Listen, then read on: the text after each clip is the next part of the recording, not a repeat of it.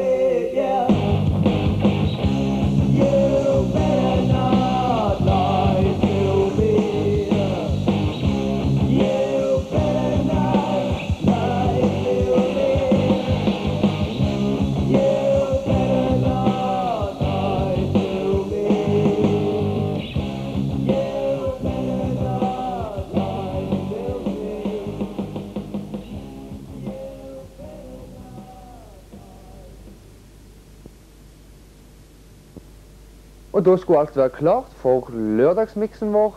Vær så god.